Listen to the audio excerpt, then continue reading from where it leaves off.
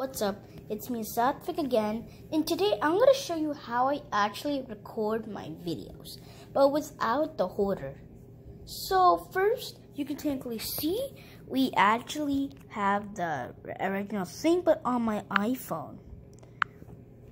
I'm going to grab this and I'm going to you know like originally click it click it but then it's not recording yet.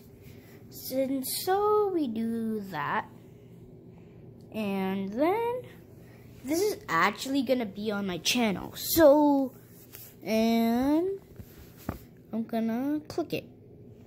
So once I do that this you know is the thing. So I'm gonna you know introduce myself. Hello there people. So I'm right now vlogging on my own channel with another vlogging channel. You can check out both videos if you want you know. Because these two videos are gonna be on the same channel in literally the same channel.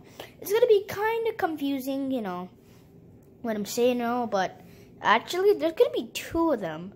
And also if you want to see what I said and how I'm acting right now, go to, you know, ProKids YouTube and check it out. Or I'll just send these videos, so, you know, blah, blah, blah, whatever. But, you know, if you want to check out what I'm doing, you can just, you know, look at the other video then right now, actually having two videos. So the, so the one you're looking at right now, one, the other one is there in the iPhone. So, you know, it's going to be pretty late for them.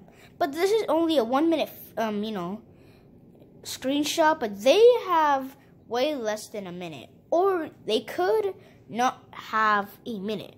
So this is a Filmigo, um, you know, picture, but that one is YouTube Originals. This is original YouTube. But mine's is Filmigo. And I hope you have a nice day. Subscribe, click that bell, and leave that notification. Woo!